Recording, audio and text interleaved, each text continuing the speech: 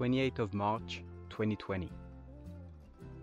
Dear Mom, as you know, we have to stay in the last country that we visited, the Czech Republic. It is a beautiful land covered by mountains and known for its beer, as well as one of Misical favorite artists, Mucha. Ludivine was already volunteering for three weeks in the biggest horse breeding farm of the country when I joined her. A day later, the world got crazy and the travel ban was decided all around the country. At the farm, they have been kind enough to welcome us for a longer stay as French refugees. The property of the farm is huge. I think that they currently have about 80 horses and it seems that they own the entire mountain. We stay in the Workaways room, a double bed, some drawers, and a side table. Nothing fancy, but all the comfort that we need. On a side note, we also have a hot shower, but somehow I am still under a stupid challenge that I made to myself of sticking to a cold shower every morning. And I have to admit that all cold showers are not the same. Here, the water comes directly from a well straight under the house, and the cold chills you to the bones. The pace of the day is dictated by the meals.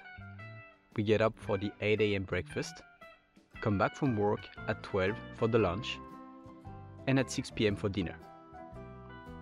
There are between 6 and 10 people every day, and all of them are taking turn for cooking. They used to run a restaurant and a bar, so the kitchen is of a very, very high standard.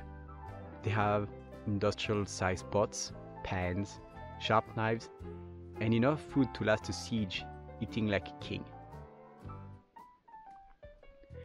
Every morning, we get assigned a task that varies between fixing the paddock, cleaning the stables, taking care of the animals, and of course, cooking. Usually, I am on the fencing duty. I take my equipment, hop in the car, and we drive to one of the fields with the dad. I check every wooden pole and make sure that they are all not shaky, not broken, or not too small. There is a lot of hammering involved.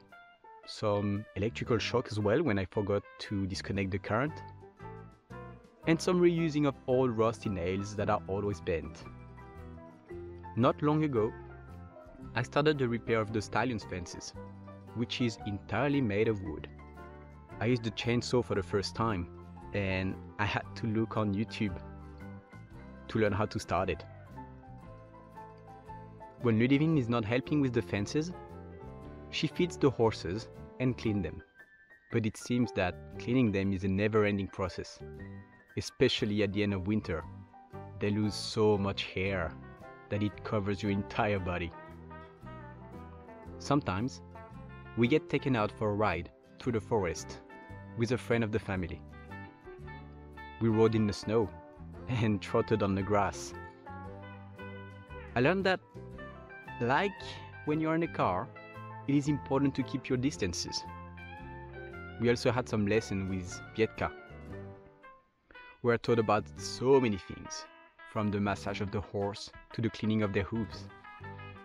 She's a very patient teacher, especially with me when I argue about the sitting position on a horse, even if I don't know anything about it. We have also witnessed the birth of two small horses last week.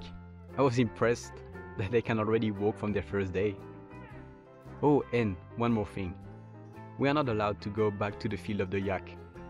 Those apparently are meat cow from Scotland who are adapted to the Czech mountains. We are told that they are dangerous because the horned cat easily impale any of us in a second. Lots of kisses. Yours truly, Charly.